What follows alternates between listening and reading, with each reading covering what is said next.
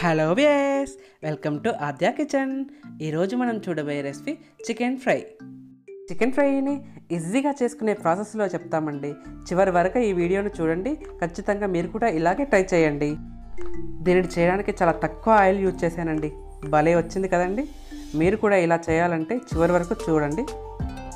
ఇక మనం ప్రాసెస్లోకి వెళ్ళే ముందు మొదటిగా ఎవరైతే మా ఛానల్ చూస్తున్నారో తప్పక సబ్స్క్రైబ్ చేయండి. పక్కనే ఉన్న బెల్ ఐకాన్ని కూడా క్లిక్ చేయండి. ఇక మనం ప్రాసెస్లోకి వెళ్ళిపోదామా? ఈ చికెన్ ఫ్రై చేసుకోవడానికి పావు కేజీ చికెన్ తీసుకోవాలి. నేనైతే ఇక్కడ బోన్లెస్ చికెన్ అయితే తీసుకున్నానండి. ఇప్పుడు చిటికెడు పసుపును యాడ్ చేసుకోవాలి. అలాగే రెండు టేబుల్ స్పూన్ల కారంను యాడ్ చేసుకోవాలి.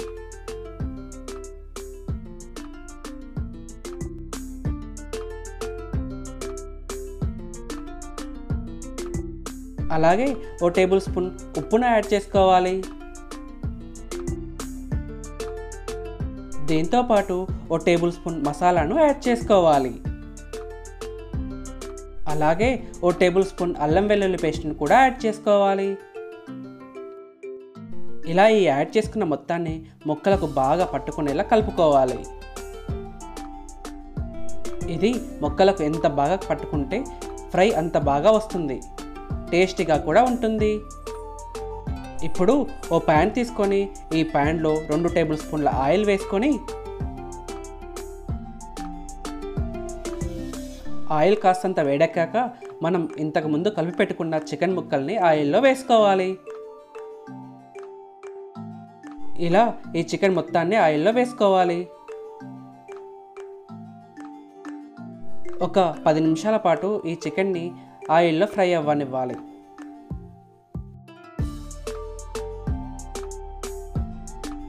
ఇక్కడ చూపించిన విధంగా చికెన్ ముక్కల్ని రెండు వైపులా ఫ్రై అయ్యేలా చూసుకోవాలి. ఇలా ఈ అన్ని పీసెస్ని ఫ్రై అయ్యేలా చూసుకోవాలి.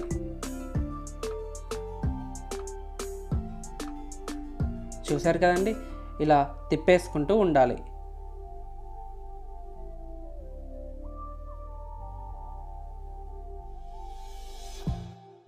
అంతే అండి. ఎంతగానో నోరు నుంచి చికెన్ ఫ్రై రెడీ అయిపోయింది. దీనిని ఒకసారి మీ ఇంట్లో కూడా ట్రై చేయండి.